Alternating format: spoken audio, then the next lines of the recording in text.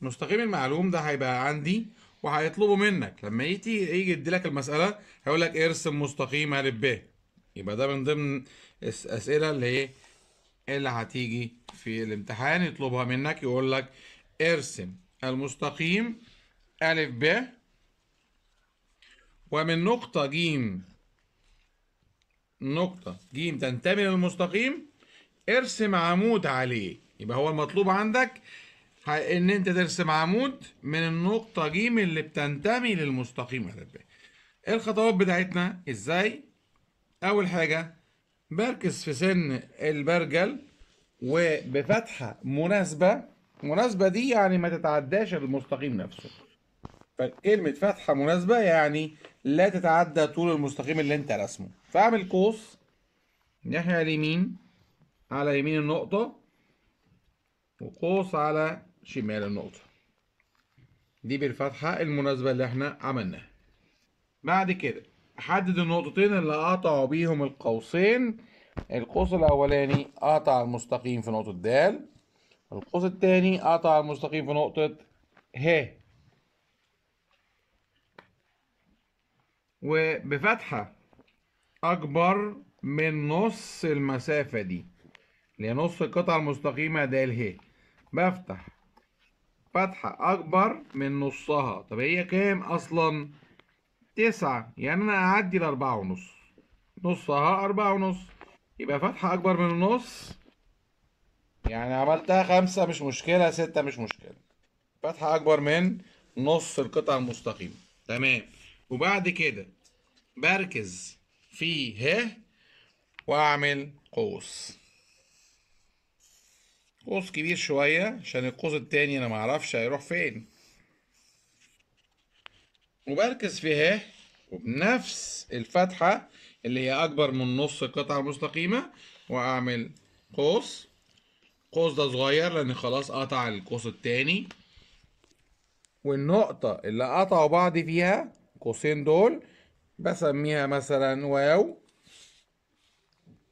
وبرسم عمود. أوصل نقطة التقاطع القوسين دول بنقطة جيم. ويبقى ده العمود على مستقيم معلوم. برضو عايز أتأكد. أجيب المنقلة. وبتأكد إن العمود بتاعي ده تسعين درجة. فعلا أهو تسعين درجة. ومركز المنقلة على نقطة جيم صفرين على الخط المنقلة مظبوطة فده تسعين درجة. وبكده يبقى العمود على مستقيم معلوم. آه تم. إنشاء عمود على مستقيم معلوم. مرا بنقطة لا تنتمي للمستقيم. بقول حاجة هيبقى عندك المستقيم. هيطلب منك يقول لك ارسم مستقيم معلوم. هرسم المستقيم الأول. ده المستقيم المعلوم. أسميه ألف ب. ودي نقطة جيم اللي هو مطلوب إن أنا أعمل مستقيم يمر بالنقطة دي. طبعا عشان أنا أعمل مستقيم عمودي مستقيم عمودي على المستقيم ده بيمر من نقطة جيم يعدي كده يعمل زاوية قايمة كده عمودي لازم أعمل الخطوات اللي أنا هقولها لكم دلوقتي.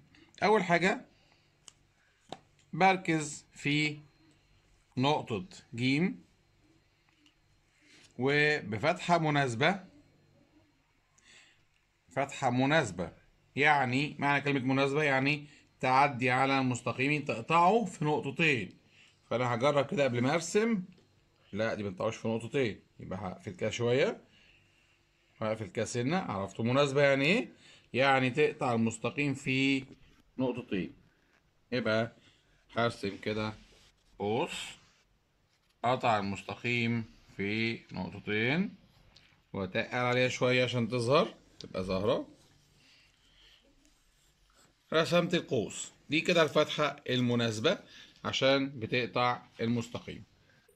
وحدد النقطتين اللي قطعوا القوس قطع فيها المستقيم وأسميهم دي ه ودي ت بعد كده نركز في نقطة د أو نقطة ه في نقطتين نركز في نقطة وبفتحة أكبر من نص القطعة المستقيمة يعني إن دي تلاتة يبقى أكبر من تلاتة ونص. دي سبعة. طولها سبعة. يبقى أكبر من تلاتة ونص. يعني دي كده تمام. وأرسم قوس في الاتجاه الآخر. يعني إيه الاتجاه الآخر؟ يعني دي في اتجاه يبقى دي في الاتجاه الآخر. القوس يبقى في الاتجاه التاني من الجيم. يبقى جيم هي فوق تبقى تحت القوس. طيب وأركز في نقطة د وأعمل نفس القوس بنفس الفتحة. أعمل قوس تاني بنفس الفتحة. وبعد كده النقطة اللي قطعوا بعض فيها؟ بوصلها بنقطة جيم.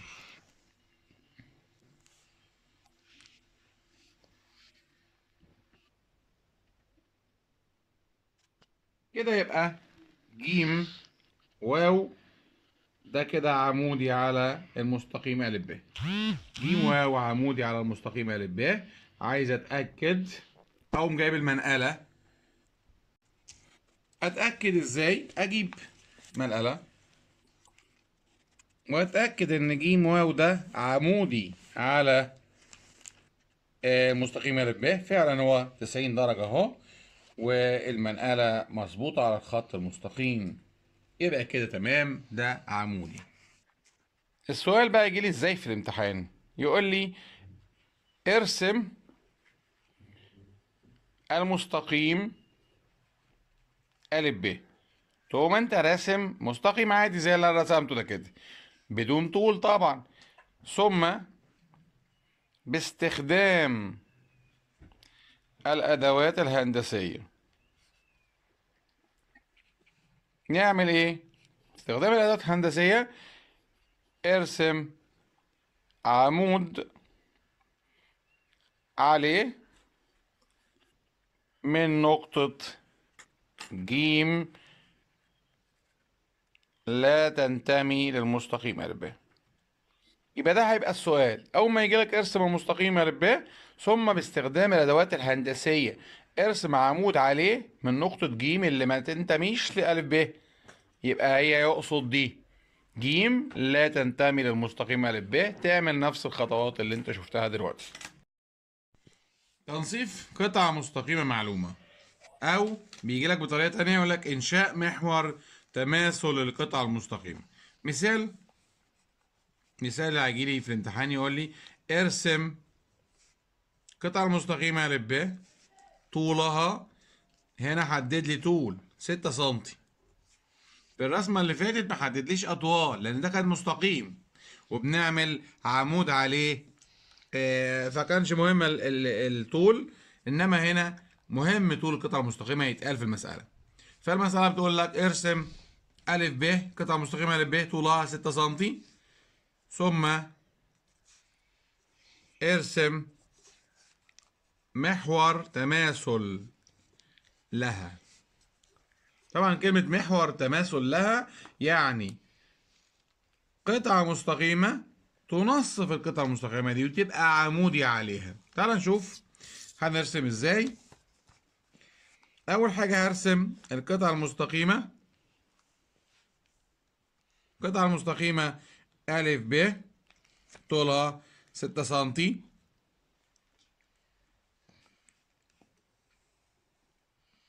رسمنا أ ب ستة سنتي. وأكتب البيانات بتاعتها. أ ب ستة سنتي. نجيب البرجل. ونركز في نقطة ب وبفتحة أكبر من نص طول القطعة المستقيمة أ ب يعني فتحة أكبر من 3 سنتي. طبعا لو عملت 5 سنتي براحتي أو 6 آه لا مش 6 طبعا 5 أو 4 عادي. أدي الفتحة اللي أكبر من النص وأعمل قوس في جهتين مختلفين. يعني إيه جهتين مختلفين؟ يعني قوس في الناحية دي وقوس في الناحية التانية. دي اسمها جهتين مختلفتين من القطعة المستقيمة. ادي أ ب الجهة فوق والجهة تحت. بعمل قوس كده من فوق. وبنفس الفتحة. أروح رايح الاتجاه التاني وأعمل قوس. ده كده معنى كلمة قوس في اتجاهين مختلفين.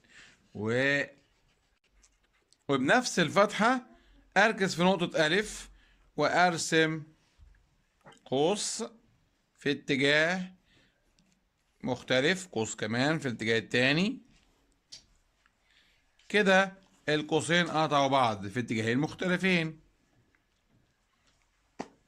بالمسطرة وأوصل النقطتين في الأول أحددهم. أحدد نقطة التقاطع عند القوسين. دي نقطة د ونقطة تقاطع في الاتجاه التاني ه. وأوصل د به. توصيل. ده كده يبقى عملنا محور التماثل. ده اسمه د ه ده د ه. قطعة مستقيمة عمودي على القطعة المستقيمة ل ب وده ه يسمى محور تماثل. يسمى محور تماثل لأنه عمودي على أ ب وينصفها. طب تعال نشوف ينصفها ولا لأ. هي طولها ستة سنتي. فعلا نصفها. يعني تلاتة سنتي بالظبط أهي. وعمودي. آه عمودي. شوف هو عمودي ولا لأ. آه 90 درجة فعلا أهو. يبقى فعلا ده عمودي وينصف. وبكده يبقى اترسم محور التماثل الخاص بألف ب. إنشاء زاوية مطابقة للزاوية معلومة. هيبقى عندي طبعا هيقولك في المثال ارسم زاوية أ ب ج 50 درجة. أ ب ج بتساوي 50 درجة. ثم ارسم زاوية ج مطابقة لها بدون استخدام المنقلة. هرسم الأول الزاوية المعلومة اللي عندي.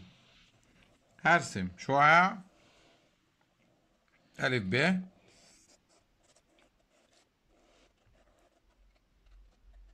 أ ب. هقيس بالمنقلة خمسين درجة. بركز بالمنقلة.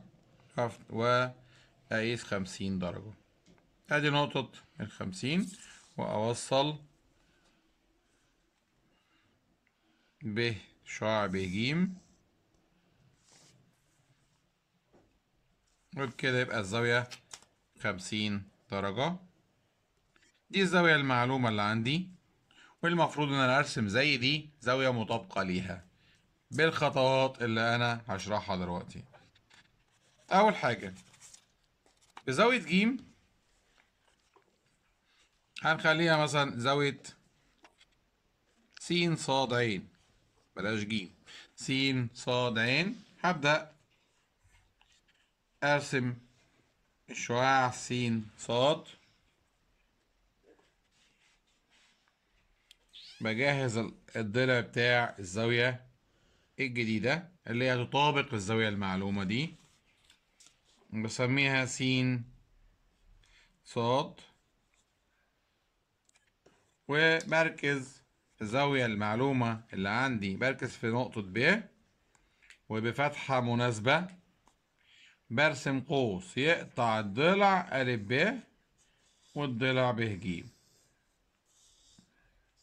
ده أول خطوة. وبنفس نقطة تقاطع القوس مع الضلع ب مثلا في د وليكن النقطة التانية ه وبنفس الفتح نفس الفتحة بتاعة القوس ده اللي عملناه في الزاوية المعلومة. هقف عند نقطة صاد رأس الزاوية الجديدة. واعمل نفس القوس. اهو عملنا قوس تاني بنفس الفتحة اللي عملناها المرة اللي فاتت في الزاوية دي. تمام؟ وأروح رايح عند د وافتح فتحة قد د ه. ها شايف؟ أنا كده فتحت فتحة إيه؟ قد د ه. واخد الفتحة دي واركز في نقطة مثلا واو. أركز في نقطة واو وأعمل قوس يقطع القوس الأول. النقطة دي هنسميها آه، عين. وأوصل صاد عين هتبقى هي دي الزاوية المطابقة للزاوية ألف ب ج. وهنقيسها دلوقتي ونشوف. المفروض إن دي خمسين درجة زيها. تعال نشوف خمسين درجة نجيب المنقلة. ونقيسها فعلا خمسين درجة أهي. عشرة عشرين تلاتين أربعين خمسين. فعلا خمسين درجة. يعني الزاوية دي مطابقة للزاوية دي. بالخطوات اللي إحنا شفناها. نقولها تاني. رسمت الزاوية المعلومة خمسين درجة بالمنقلة عادي. وفتحت البرجل. فتحة مناسبة. يعني إيه مناسبة؟ يعني تقطع الخط الأولاني والخط التاني. الضلع أ ب والضلع ب ج ورسمت قوس. ونفس القوس رسمته عند الضلع الصاد س وجيت. فتحت فتحة. عند ده اله قد ده اله بالظبط. ووقفت عند نقطة واو وعملت قوس. قطع القوس الأولاني. وصلت نقطة تقاطع بصاد. بقت الزاوية س صاد عين خمسين درجة. زاوية مطابقة. مراجعة آه، منهج أولى إعدادي. أوجد ناتج.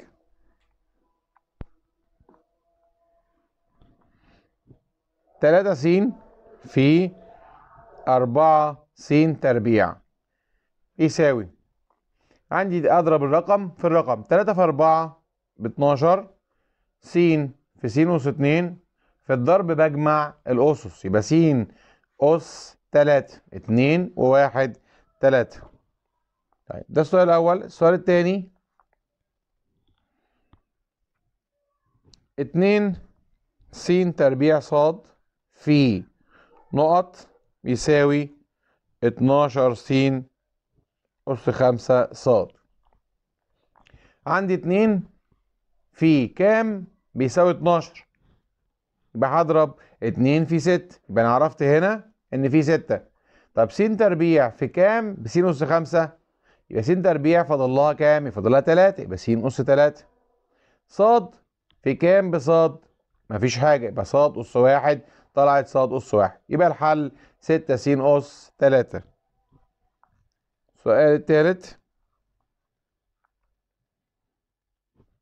ستة س أس تلاتة على تلاتة س تربيع يساوي.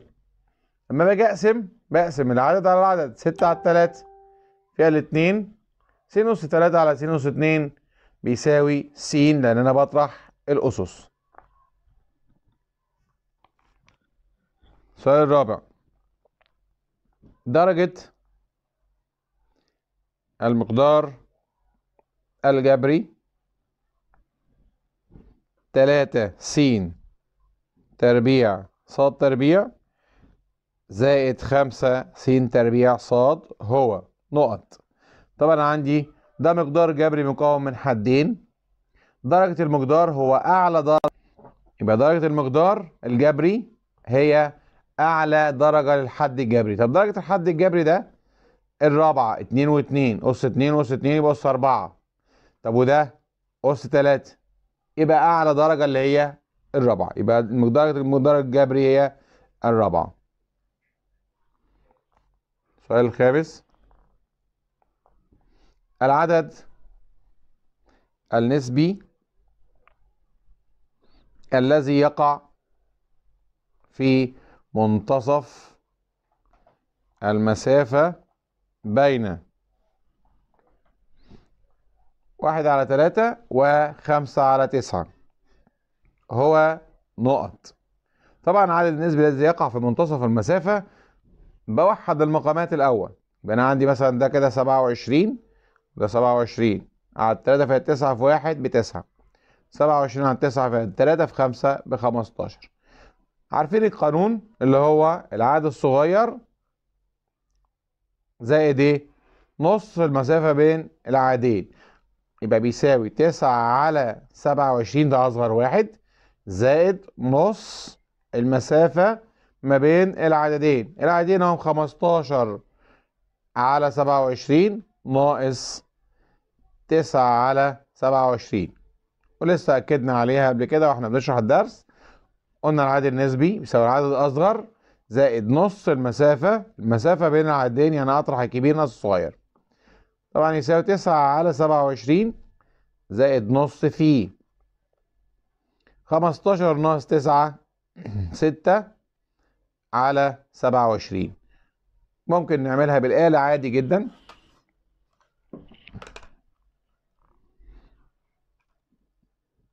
تسعة على سبعة وعشرين في آه، زائد نص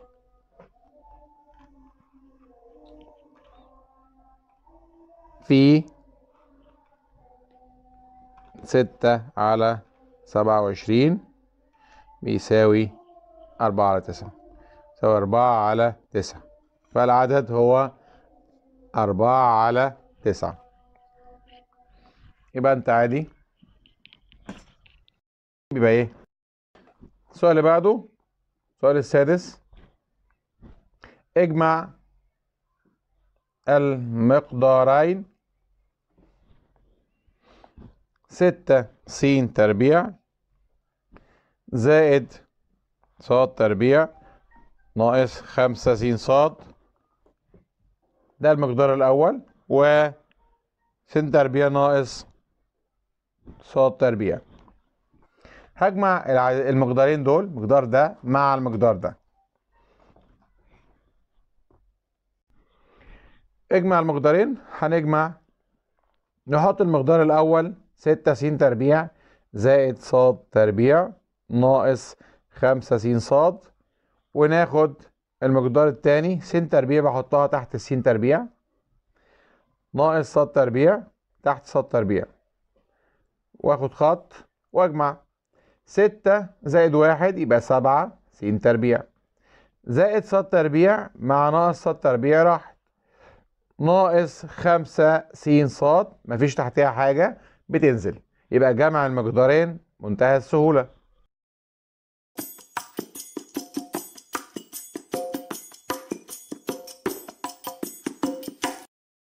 ثلاثة أعداد نسبية تقع بين اتنين على تلاتة وتلاتة على أربعة. عشان أجيب الأعداد النسبية اللي بتقع ما بين العددين دول أول حاجة بوحد المقامات. طبعا أنا عندي هنا المقام تلاتة والمقام أربعة. بوحد المقامات على اتناشر.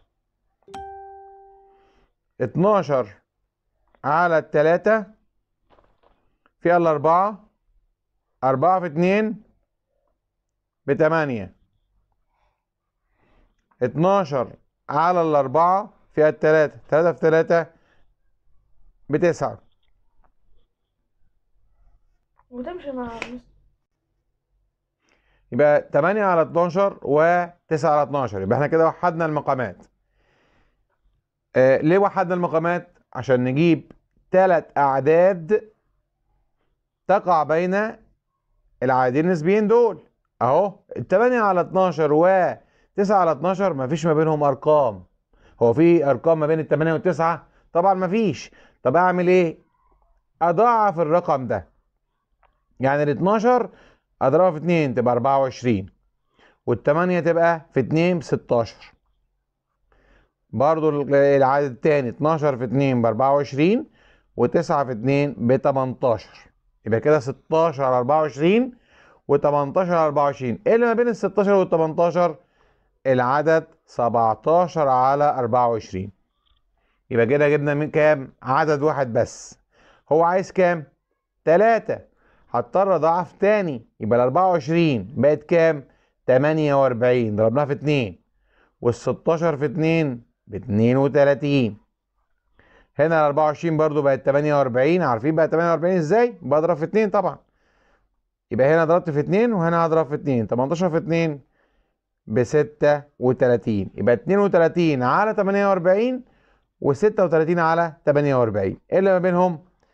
ال 33 على 48 وال 34 على 48 وال 35 على 48 الثلاث أرقام دول أو الثلاث أعداد نسبية دول هم اللي موجودين في النص ما بين ال 32 وال 36 تاني هشرحها بمختصر.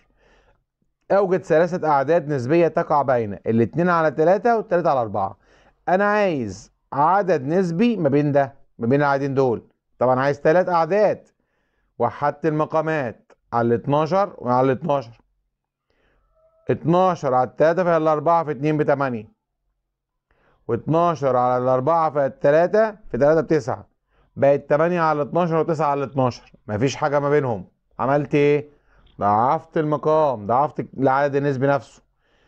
12 في 2 ب 24 8 في 2 ب 16 وضعفت ده 12 في 2 ب 24 9 في 2 ب 18 ما بين ال 16 وال 18 لقيت فيه عدد واحد بس. طب أنا عايز 3 رحت مضاعف العدد النسبي تاني. ضربته في 2 24 في 2 ب 48 16 في 2 ب 32 ده كده اتضاعف يبقى إحنا كده ضعفنا مرتين.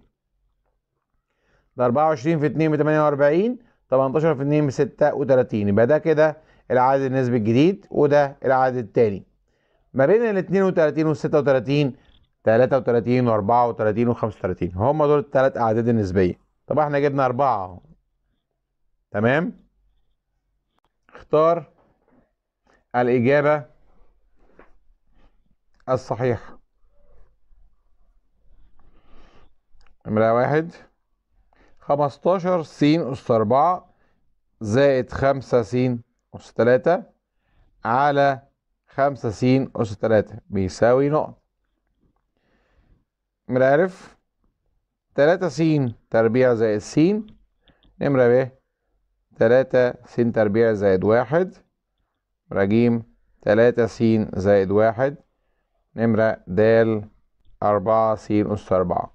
طبعا المسألة دي قسمة مقدار جبري على حد جبري. بتتعمل إزاي؟ زي ما اتعودنا بنعمل العلامة دي. 15 س أس 4 زائد 5 س أس 3 على 5 س أس 3 هنبدأ نقسم الأول على العدد ده. 15 على 5 فيها التلاتة س أس 4 على س أس 3 فيها السين. قسمت الحد الأول على الحد الأول اللي هو المقسوم عليه. بعد ما قسمت بضرب 3 في 5 ب 15 س أس 1 في س أس 3 بس أس 4 يبقى قسمنا. أول حاجة قسمنا الحد الأول على المقسوم عليه 15 على 5 فيها 3 س أس 4 على س أس 3 فيها س بعد ما قسمنا ضربنا 3 في 5 ب 15 س في س أس 3 بس أس 4 بعد كده أطرح. أغير إشارة الرقم اللي تحت. يبقى 15 راحت مع ال 15 يتبقى كام؟ 5 س أس 3 5 س أس 3 على 5 س أس 3 فيها الواحد. واحد في 5 س أس 3 ب 5 س أس 3 أغير الإشارة وأطرح. يبقى انتهت المسألة. يبقى الناتج 3 س زائد واحد اللي هو ده. اختيار رقم ج ده الإجابة الصحيحة. يبقى 3 س زائد واحد. سؤال رقم اتنين. س أس 3 زائد س تربيع على س بيساوي نقط. حيث س لا تساوي صفر. يا ترى مين في الاختيارات دي؟ طبعا عشان أنا أختار لازم أقسمها. فهنقسم زي المسألة اللي فاتت. س أس 3 زائد س تربيع على س بنقسم المقدار للحد الأول على الحد الأول. ده على ده. س أس 3 على س نطرح 3 ناقص 1 يبقى س أس 2 وبضرب س تربيع في س بس أس 3 أغير الإشارة وأطرح. دي راحت مع دي يبقى س أس 2 س أس 2 على على س فيها س س في س بس تربيع اغير إشارة. واطرح صفر صفر. يبقى الناتج س تربيع زائد س اللي هو الاختيار ده. سؤال رقم ثلاثة سبعة وعشرين ألف أس تلاتة ناقص تسعة ألف. على سالب تلاتة ألف. يساوي نقط حيث ألف لا تساوي صفر. طبعا اختيار حد من دول لازم قبل ما اختار احل المسألة. عندي المسألة بتقول سبعة وعشرين ألف أس تلاتة ناقص تسعة ألف. هعمل علامة القسمة زي ما اتعودنا. سالب تلاتة ألف. وأبدأ أقسم. سبعة وعشرين ألف أس تلاتة على سالب تلاتة ألف. سبعة وعشرين على سالب تلاتة فيها سالب تسعة. لأن سبعة وعشرين على تلاتة فيها تسعة موجب على سالب فيها سالب. ألف أس تلاتة على ألف بقى ألف تربيع. قسمت أضرب. سالب في سالب بموجب تسعة في تلاتة بسبعة وعشرين. ألف تربيع في ألف بألف أس تلاتة. أغير الإشارة وأطرح. طبعا راحت. ده موجب مع سالب. اتبقى سالب تسعة ألف. سالب تسعة ألف على سالب تلاتة ألف. طبعا سالب على سالب موجب. تسعة على تلاتة فيها التلاتة ألف على ألف راحت. قسمت أضرب تلاتة في سالب تلاتة. بسالب تسعة. ألف. أغير الإشارة في الطرح بغير الإشارة دي راحت مع دي صفر صفر انتهت. فبقت الإجابة تسعة سالب تسعة ألف تربيع زائد تلاتة اللي هي الاختيار رقم د هو ده الإجابة الصحيحة.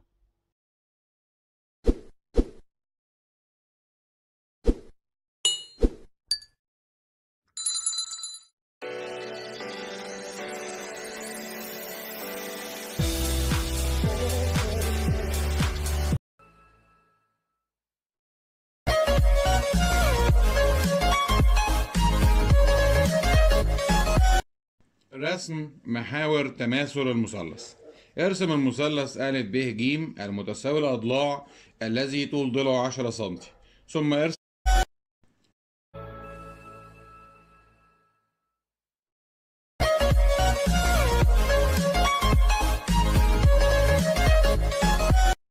رسم محاور تماثل المثلث.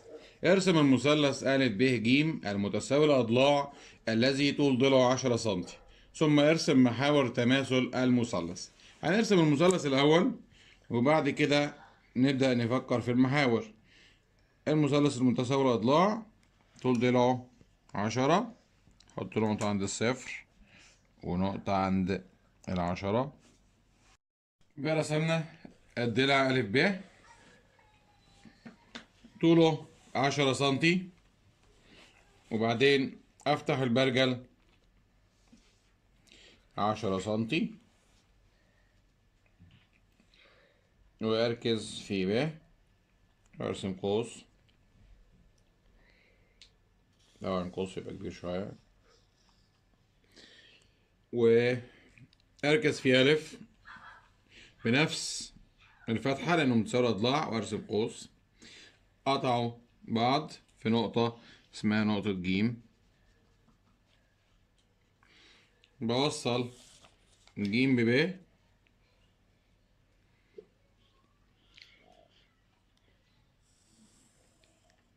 وأوصل.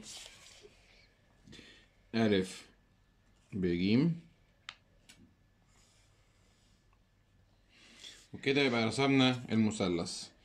يجي بعد كده نرسم المحاور. هرسم محور ألف ب. الأول. عشان أرسم محور بفتح فتحة أكتر من نص. طبعا دي كده عشرة. بفتح فتحة أكتر من نص شوية يعني مثلا كده. يعني طبعا مش مش مشكلة إن أنا أقيسها هي أكتر من نص وخلاص. يعني أنا فاتحها تمانية ممكن سبعة عادي جدا يعني. ماشي؟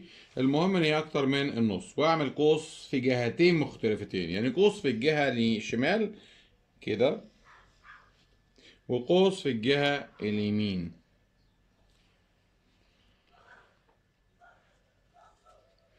عمل نقطة وطبعا هنا نفس القصة. يبقى أنا عملت قوسين في جهتين مختلفتين دي جهة ودي جهة.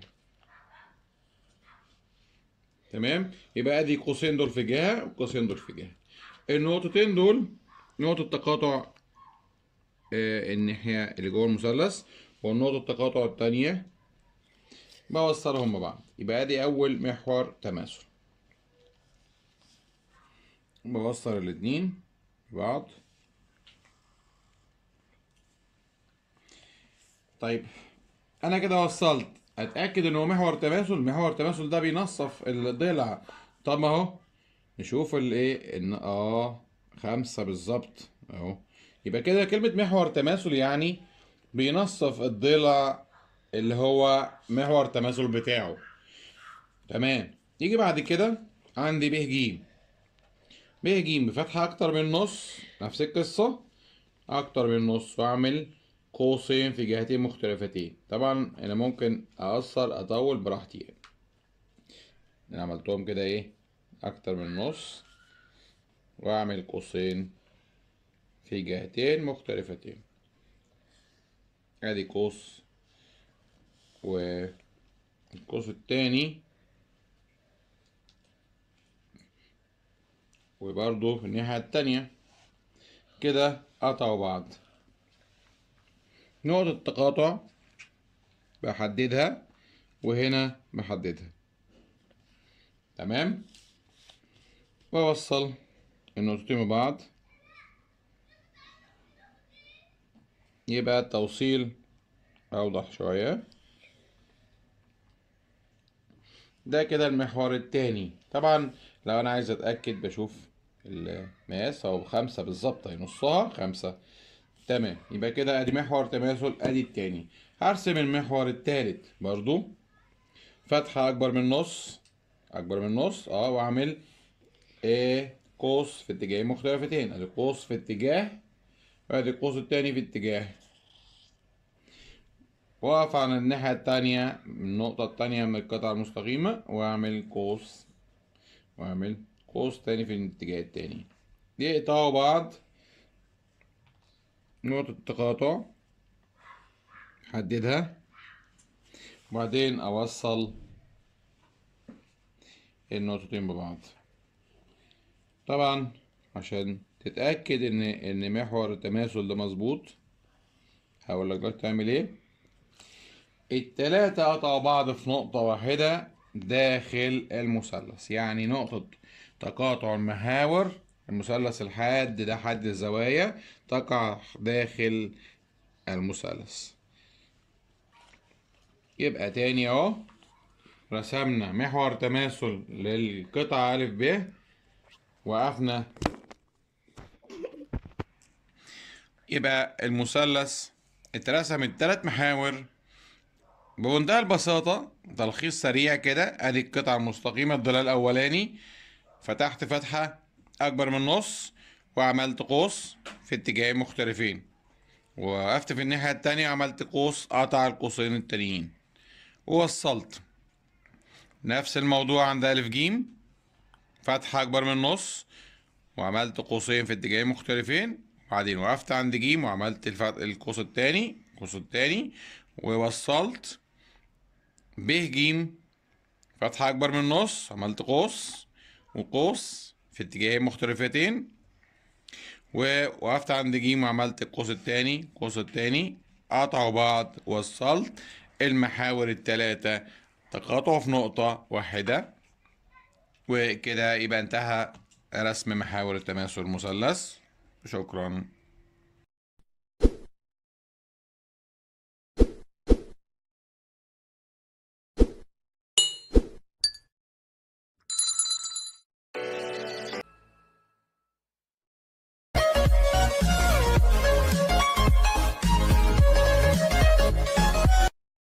رسم محاور تماثل المثلث. ارسم المثلث أ ب ج المتساوي الأضلاع الذي طول ضلعه 10 سم ثم ارسم محاور تماثل المثلث. هنرسم المثلث الأول وبعد كده نبدأ نفكر في المحاور. المثلث المتساوي الأضلاع طول ضلعه 10 حط نقطة عند الصفر ونقطة عند العشرة. يبقى رسمنا الضلع ألف ب. طوله عشرة سنتي. وبعدين أفتح البرجل عشرة سنتي. وأركز في ب. وأرسم قوس. طبعا قوس يبقى كبير شوية.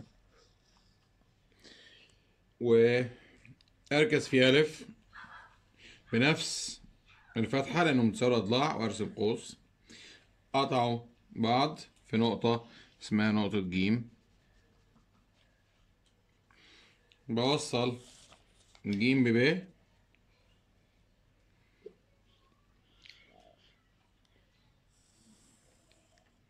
وأوصل ألف بجيم. وكده يبقى رسمنا المثلث. يجي بعد كده نرسم المحاور. هرسم محور ألف ب. الأول عشان أرسم محور بفتح فتحة أكتر من نص. طبعا دي كده عشرة. بفتح فتحة أكتر من نص شوية يعني مثلا كده. يعني طبعا مش مش مشكلة أنا أقيسها هي أكتر من نص وخلاص. يعني أنا فاتحها تمانية ممكن سبعة عادي جدا يعني. ماشي؟ المهم إن هي أكتر من النص. وأعمل قوس في جهتين مختلفتين. يعني قوس في الجهة الشمال كده. وقوس في الجهة اليمين.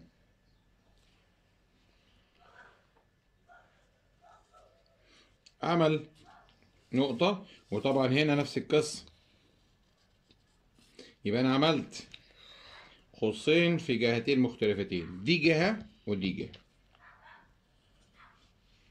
تمام؟ يبقى أدي قوسين دول في جهة وقوسين دول في جهة. النقطتين دول نقطة تقاطع آه، الناحية اللي جوه المثلث والنقطة التقاطع التانية بوصلهم ببعض يبقى أدي أول محور تماثل. بوصل الاتنين ببعض طيب أنا كده وصلت. أتأكد إن هو محور تماثل؟ محور تماثل ده بينصف الضلع. طب ما أهو نشوف الإيه إن آه خمسة بالظبط أهو. يبقى كده كلمة محور تماثل يعني بينصف الضلع اللي هو محور تماثل بتاعه. تمام. يجي بعد كده عندي ب ج ب ج بفتحة أكتر من نص نفس القصة أكتر من نص وأعمل قوسين في جهتين مختلفتين. طبعا أنا ممكن أقصر أطول براحتي يعني. أنا عملتهم كده إيه؟ أكتر من نص وأعمل قوسين في جهتين مختلفتين. ادي قوس والقوس التاني وبرضو في الناحية التانية. كده قطعوا بعض. نقطة التقاطع بحددها وهنا بحددها. تمام؟ وأوصل النقطتين ببعض. يبقى التوصيل أوضح شوية. ده كده المحور التاني. طبعا لو أنا عايز أتأكد بشوف المقاس أهو خمسة بالظبط أهي نصها خمسة. تمام. يبقى كده أدي محور تماثل أدي التاني. هرسم المحور التالت برضو. فتحة أكبر من نص أكبر من نص أه وأعمل إيه قوس في اتجاهين مختلفتين. أدي قوس في اتجاه وادي القوس التاني في اتجاه. واقف على الناحية التانية النقطة التانية من القطعة المستقيمة. واعمل قوس واعمل قوس تاني في الاتجاه التاني يقطعوا بعض. نقطة التقاطع. حددها. وبعدين أوصل النقطتين ببعض. طبعا عشان تتأكد إن إن محور التماثل ده مظبوط؟ هقول لك دلوقتي تعمل إيه؟ التلاتة قطعوا بعض في نقطة واحدة داخل المثلث يعني نقطة تقاطع المحاور المثلث الحاد ده حد الزوايا تقع داخل المثلث. يبقى تاني أهو رسمنا محور تماثل للقطعة ألف ب وقفنا يبقى المثلث اترسم التلات محاور. بمنتهى البساطة تلخيص سريع كده أدي القطعة المستقيمة الضلع الأولاني. فتحت فتحة أكبر من نص وعملت قوس في اتجاهين مختلفين. ووقفت في الناحية التانية عملت قوس قطع القوسين التانيين. ووصلت. نفس الموضوع عند ألف جيم. فتحة أكبر من النص وعملت قوسين في اتجاهين مختلفين. وبعدين وقفت عند جيم وعملت. القوس التاني القوس التاني ووصلت ب جيم. فتحة أكبر من النص عملت قوس وقوس في اتجاهين مختلفتين. ووقفت عند جيم وعملت القوس التاني القوس التاني. قطعوا بعض وصلت المحاور التلاتة. تقاطعوا في نقطة واحدة. وكده يبقى انتهى رسم محاور التماثل المثلث. شكرا. معلوم مرة بنقطة تنتمي إلى المستقيم. طبعا أنا أول حاجة هرسمها المستقيم.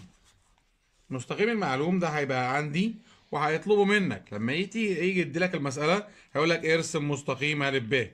يبقى ده من ضمن الأسئلة اللي هي اللي هتيجي في الامتحان يطلبها منك يقول لك ارسم المستقيم ألف ب. ومن نقطة جيم نقطة جيم تنتمي للمستقيم ارسم عمود عليه. يبقى هو المطلوب عندك إن أنت ترسم عمود من النقطة جيم اللي بتنتمي للمستقيم ألف ب الخطوات بتاعتنا؟ إزاي؟ أول حاجة بركز في سن البرجل وبفتحة مناسبة. مناسبة دي يعني ما تتعداش المستقيم نفسه. فكلمة فتحة مناسبة يعني لا تتعدى طول المستقيم اللي انت رسمه فاعمل قوس الناحية اليمين على يمين النقطة وقوس على شمال النقطة. دي بالفتحة المناسبة اللي إحنا عملناها. بعد كده احدد النقطتين اللي قطعوا بيهم القوسين. القوس الأولاني قطع المستقيم في نقطة د القوس التاني قطع المستقيم في نقطة ه. وبفتحة أكبر من نص المسافة دي اللي هي نص القطعة المستقيمة د ه بفتح. فتحة أكبر من نصها. طب هي كام أصلا؟ تسعة. يعني أنا أعدي الأربعة ونص. نصها أربعة ونص. يبقى فتحة أكبر من النص. يعني عملتها خمسة مش مشكلة ستة مش مشكلة. فتحة أكبر من نص القطعة المستقيمة. تمام. وبعد كده بركز في ه وأعمل قوس. قوس كبير شوية عشان القوس التاني أنا معرفش هيروح فين.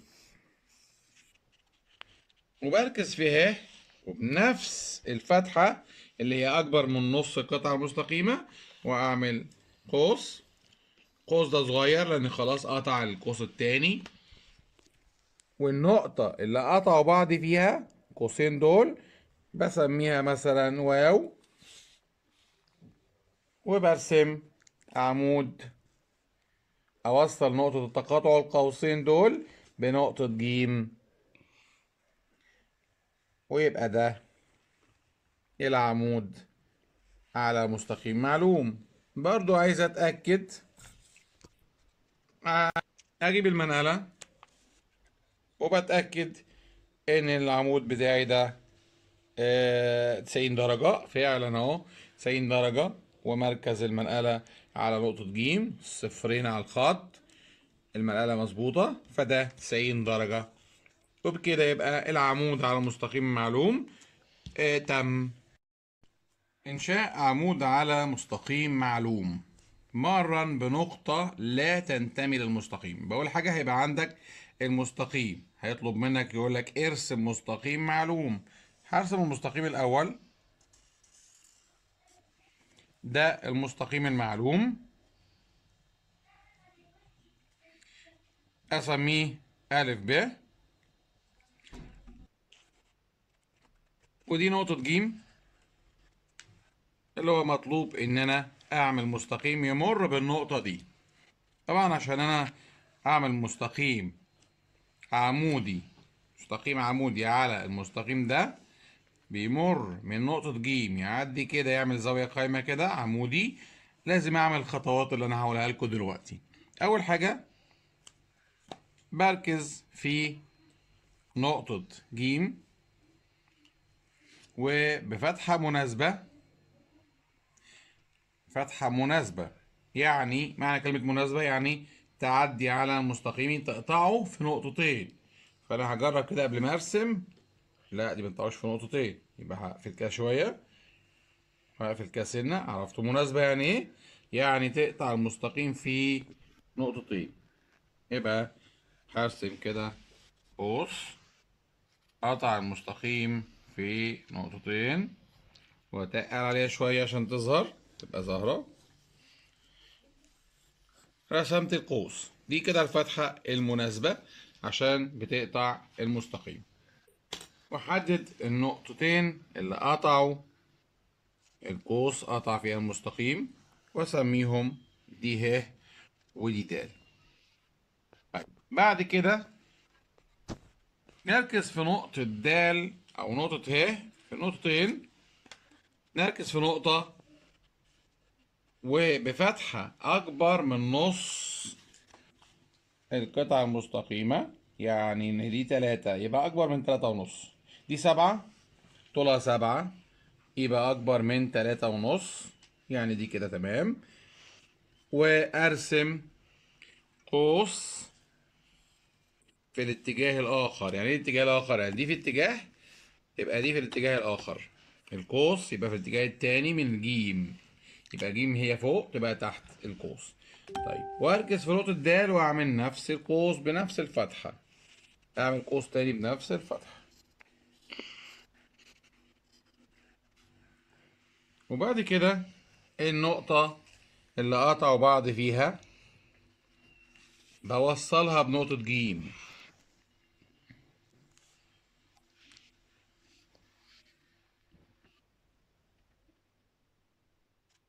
كده يبقى جيم واو. ده كده عمودي على المستقيم أ ب. جيم واو عمودي على المستقيم أ ب. عايز أتأكد. أقوم جايب المنقلة. أتأكد إزاي؟ أجيب منقلة.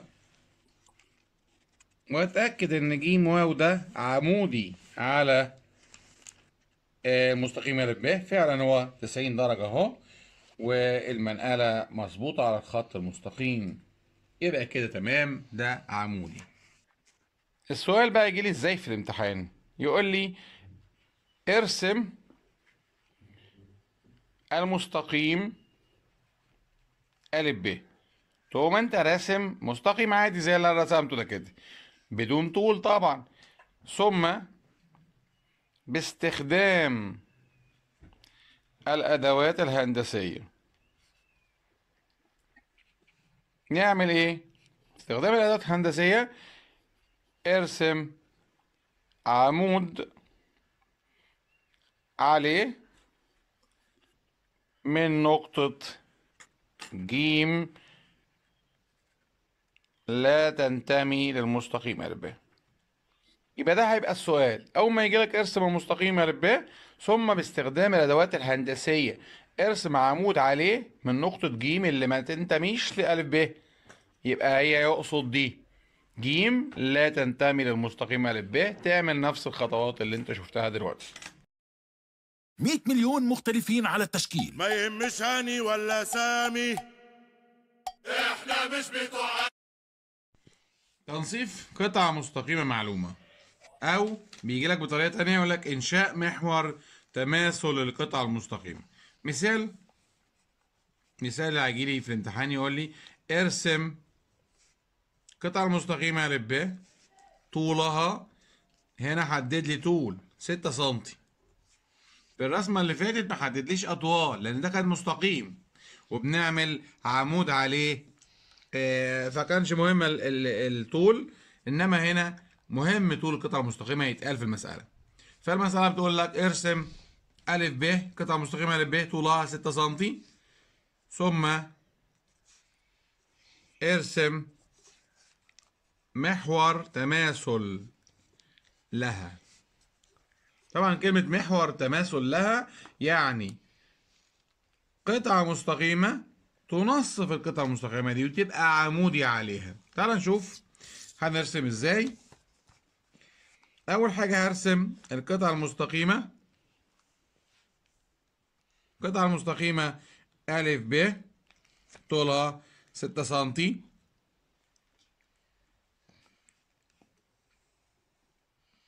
رسمنا ألف ب ستة سنتي. وأكتب البيانات بتاعتها. ألف ب ستة سنتي.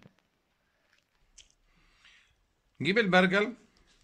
ونركز في نقطة ب وبفتحة أكبر من نص طول القطعة المستقيمة ألف ب يعني فتحة أكبر من 3 سنتي. طبعا لو عملت 5 سنتي براحتي أو 6 آه لا مش 6 طبعا 5 أو 4 عادي. أدي الفتحة اللي اكبر من النص وأعمل قوس في جهتين مختلفين. يعني إيه جهتين مختلفين؟ يعني قوس في الناحية دي وقوس في الناحية التانية. دي اسمها جهتين مختلفتين من القطعة المستقيمة. ادي ألف ب الجهة فوق والجهة تحت. بعمل قوس كده من فوق. وبنفس الفتحة. أروح رايح الاتجاه التاني وأعمل قوس ده كده معنى كلمة قوس في اتجاهين مختلفين. و وبنفس الفتحة أركز في نقطة ألف وأرسم قوس في اتجاه مختلف قوس كمان في الاتجاه التاني. كده القوسين قطعوا بعض في اتجاهين مختلفين. بالمسطرة وأوصل النقطتين في الأول أحددهم. أحدد نقطة التقاطع عند القوسين. دي نقطة د ونقطة تقاطع في الاتجاه التاني ه. وأوصل د به. توصيل. ده كده يبقى عملنا محور التماثل. ده اسمه د ه ده د ه. القطعة المستقيمة عمودي على القطعة المستقيمة ل ب وده هي يسمى محور تماثل. يسمى محور تماثل لأنه عمودي على ا ب وينصفها. طب تعال نشوف ينصفها ولا لأ. هي طولها ستة سنتي. فعلا نصفها. يعني تلاتة سنتي بالظبط أهي. وعمودي. آه عمودي. شوف هو عمودي ولا لأ. آه 90 درجة فعلا أهو. يبقى فعلا ده عمودي وينصف. وبكده يبقى اترسم محور التماثل الخاص بألف ب. إنشاء. زاوية مطابقة للزاوية معلومة. هيبقى عندي طبعا هيقولك في المثال ارسم زاوية ألف ب ج 50 درجة. ألف ب ج بتساوي 50 درجة. ثم ارسم زاوية ج مطابقة لها بدون استخدام المنقلة. هرسم الأول الزاوية المعلومة اللي عندي. هرسم شعاع ألف ب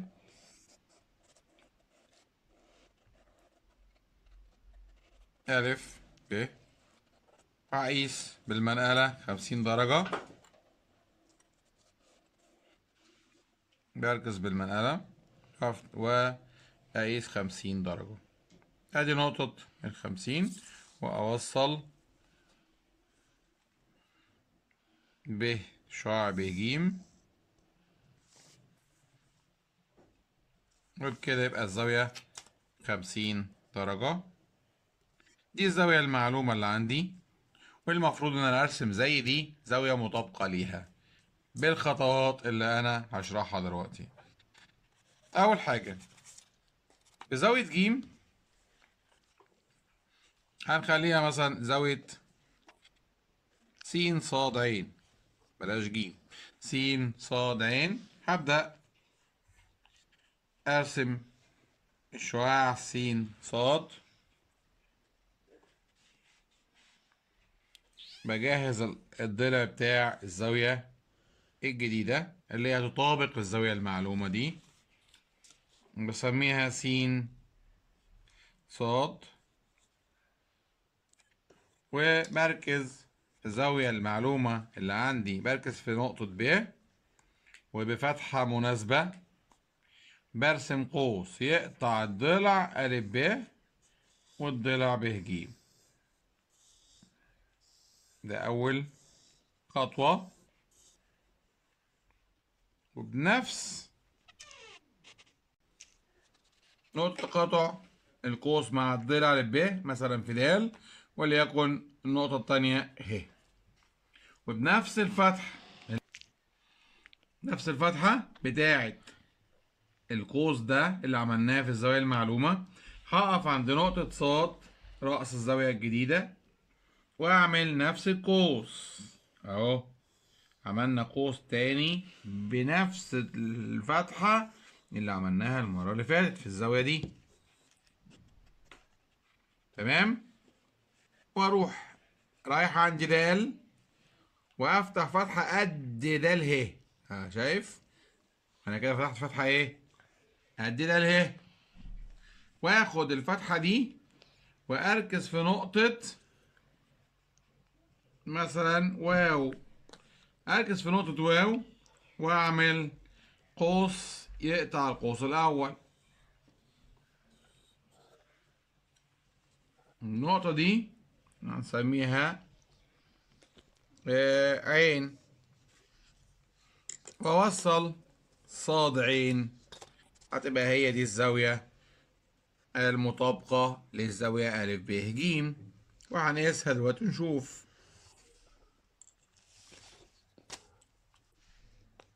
المفروض إن دي خمسين درجة زيها.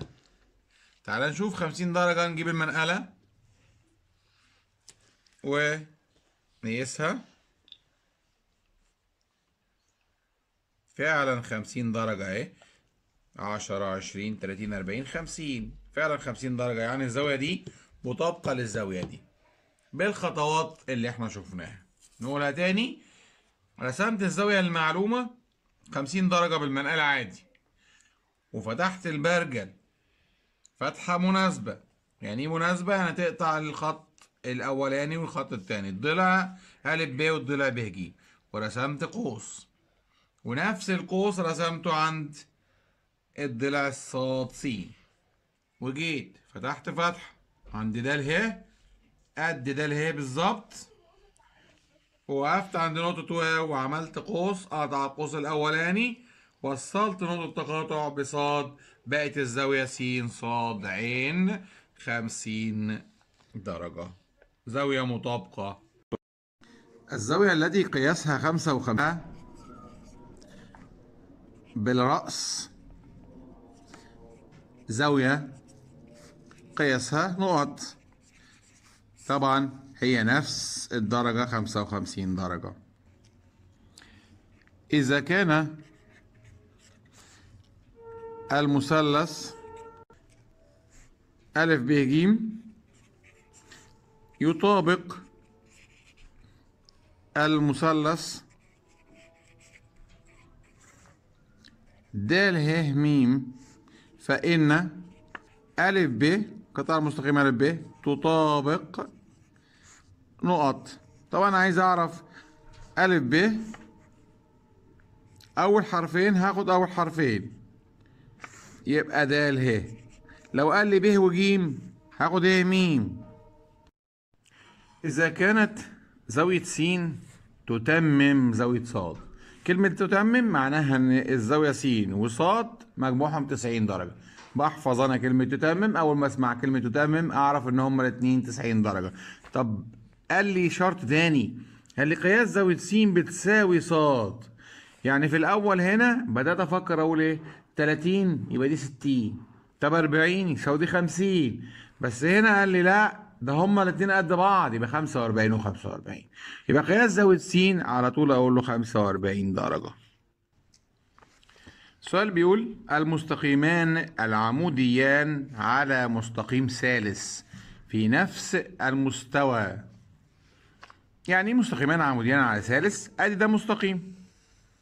بقى خط مستقيم. ويجي عليه كده واحد عمودي عليه ده كده عمودي على مستقيم. اهو 90 درجة. يجي مستقيم زيه عمودي على نفس المستقيم هو هو. يبقى ده كده اتنين. مستقيمان عموديان على ثالث هيبقوا أكيد إيه؟ أهم باينين زي الشكل كده متوازيان. ناخد المثال الرسمة اللي قدامنا. في الشكل المقابل أ ب بيساوي ب ج وأ د بيساوي ج د.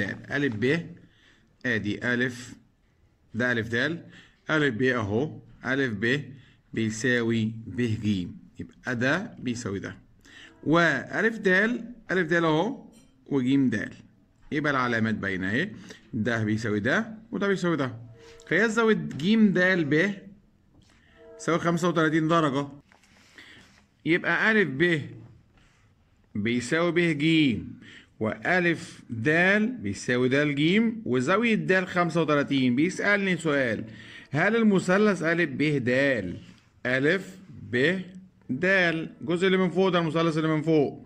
يطابق المثلث د ب ج ولماذا؟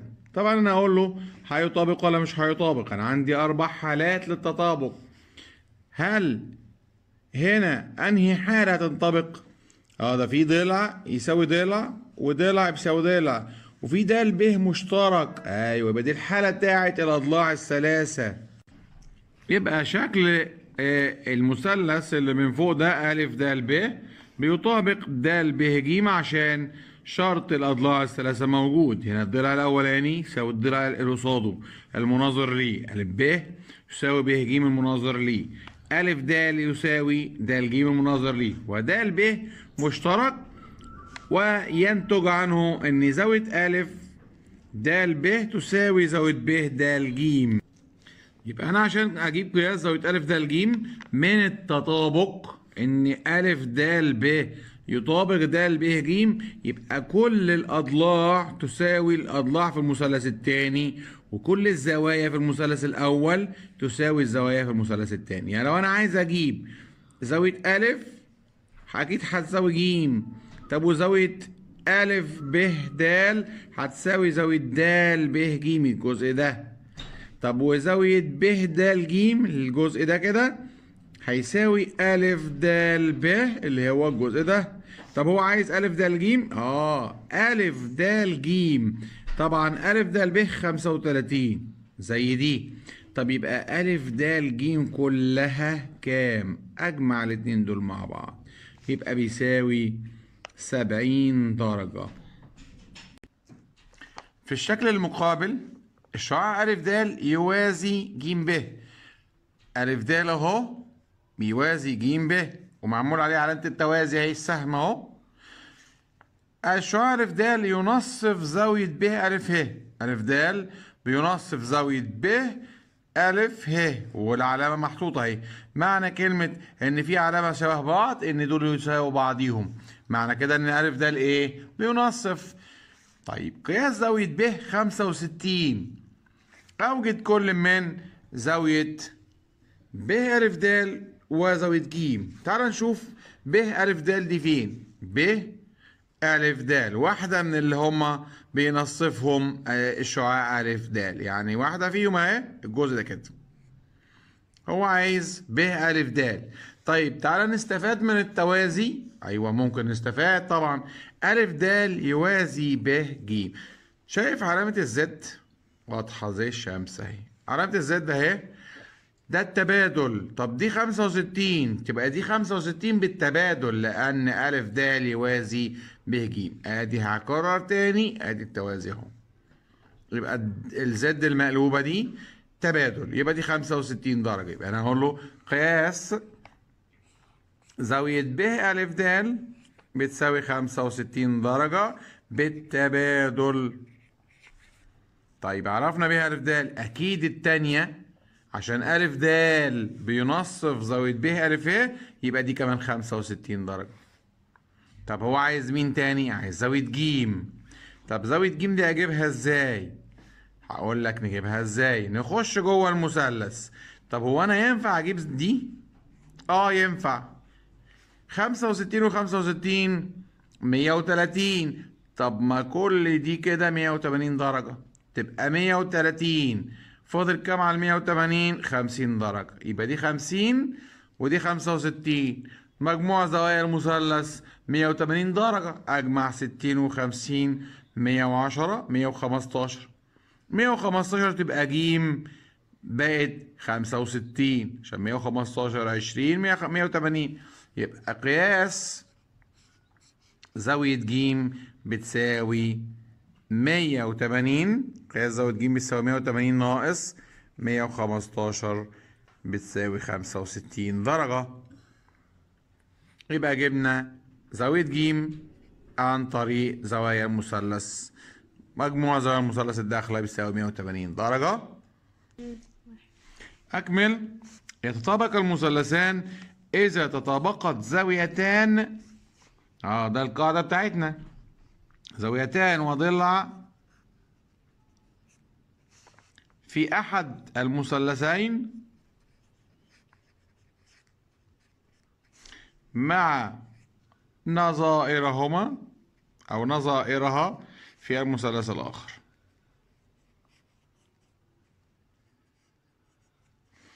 السؤال الثاني إذا قطع مستقيم مستقيمين متوازيين فإن كل زاويتين متناظرتين متساويتين في القياس.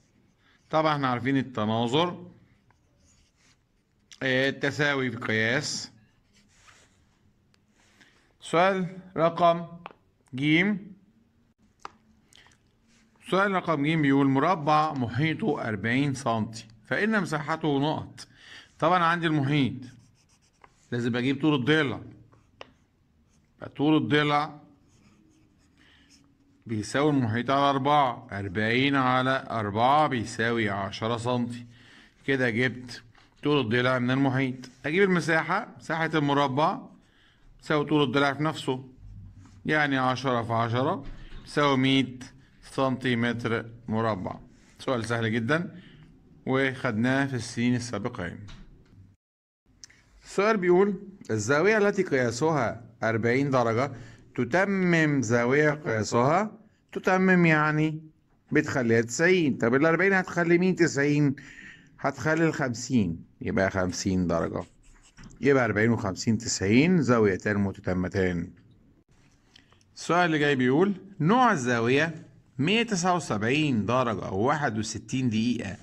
نقط يا ترى حادة ولا منفرجة ولا منعكسة ولا مستقيمة؟ طب ال 179 لغاية كده لو مفيش دي كان 179 دي كانت هتبقى منفرجة لأن لسه ما كملتش 180 طب 61 دقيقة ناخد 60 دقيقة منها نحطها على ال 179 بقت بدرجة بقت 180 طب 180 يا مستر مستقيمة بس دي زايدة دقيقة واحدة يبقى 180 زادت عنها دقيقة تبقى منعكسة. يبقى هو اتلائم عليا في السؤال وجاب لي 61 دقيقة. هو ده اللي عمل المشكلة كلها إن الزاوية بقت 180 ودقيقة بقت منعكسة. السؤال اللي جاي بيقول إذا كان المثلث أ ب ج بيطابق المثلث د ه واو وكان قياس زاوية أ زائد ب 70 درجة. فين أ زائد ب؟ أدي زاوية أ زائد ب 70 درجة. كده يبقى فاضل ج. يعني أنا ممكن أجيب ج بالاستنتاج مجموع زوايا المثلث 180 دول 100 دول 70 يبقى دي 110 يبقى أنا كده جبت ج لو احتجتها. تعال نشوف. فإن قياس زاوية واو هو دلوقتي مش ألف ب ألف وب. بيساوي د زائد ه. ألف زائد ب بسبعين يبقى أكيد د زائد ه بسبعين برضه يبقى ج بكام لسه جايبينها؟ ج بمية وعشرة تبقى واو أكيد بمية وعشرة. يبقى واو زاوية واو بمية وعشرة درجة. سهلة ومش محتاجة تفكير.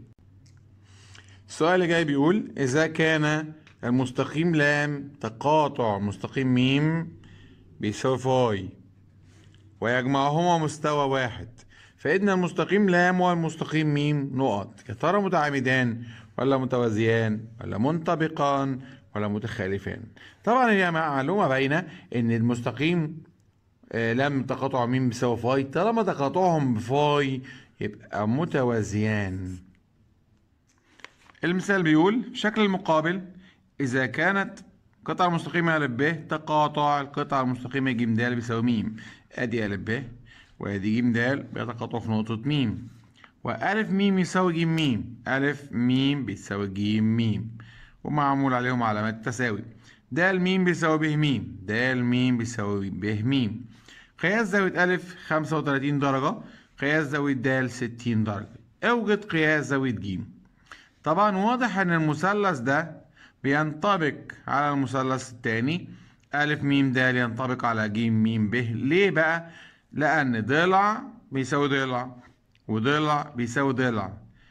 والزاوية اللي هي زاوية ألف ميم د بتساوي زاوية ج ميم ب بالتقابل بالرأس. فمعنى كده إن هما متساويان.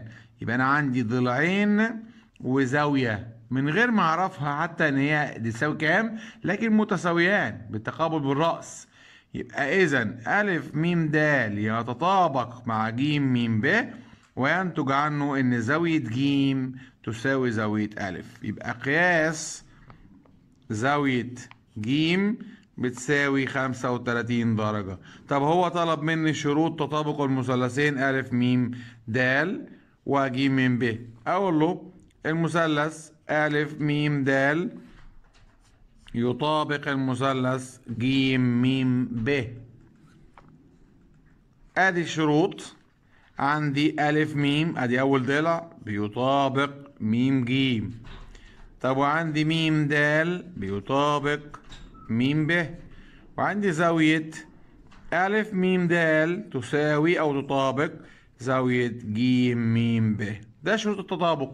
عندي شرطين ضلعين وزاوية.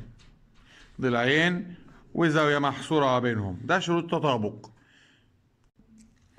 مثال بيقول إذا كانت زاوية ألف تكمل زاوية ب وكان قياس زاوية ألف بيساوي اتنين قياس زاوية ب يعني ألف ضعف ب فإن زاوية ب بتساوي طبعا ألف ضعف ب يبقى بألف ب 120 درجة وب ب 60 درجة.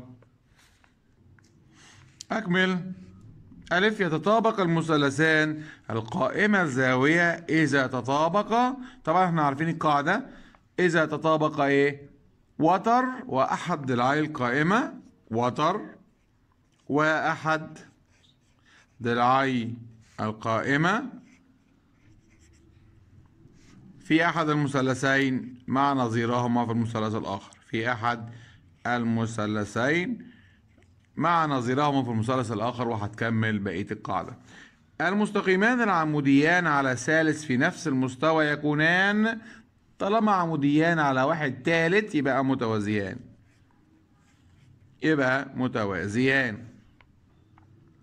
إذا قطع مستقيم مستقيمين متوازيين فإن كل زاويتين متناظرتين على طول متساويتين في القياس. يبقى متناظرتين متساويتين في القياس. ولو قال لي فإن كل زاويتين متبادلتين أقول له برضه متساويتين في القياس. إنما لو قال كل زاويتين داخلتين أقول له داخلتين وفي جهة واحدة من القاطع فإنهما متكاملتين. يبقى الوحيدة اللي هي ما يتقلهاش متساويتين في القياس هي الزاويتين الداخلتين. لكن متناظرتين أقول له متساويتين في القياس متبادلتين متساويتين في القياس. إذا كان المضلع أ ب ج د يطابق المضلع س ص ع ل فإن ب ج فين ب ج تاني حرف وتالت حرف يبقى أكيد هيساوي هناك تاني حرف وتالت حرف. ص ع زي ما قلنا قبل كده أول وتاني بيساوي أول وتاني. أ ب يساوي س ص ب ج يساوي ص ع ج د يساوي ع ل أ د بيساوي س ل السؤال اللي بعده إذا كانت الزاويتان المتجاورتان متتامتين فإن ضلعيهما المتطرفين متعامدان. يبقى لما يبقى متتامتان يبقى الضلعين المتطرفين متعامدان. طب لما يبقى متكاملتين يبقى الضلعين المتطرفين على استقامة واحدة.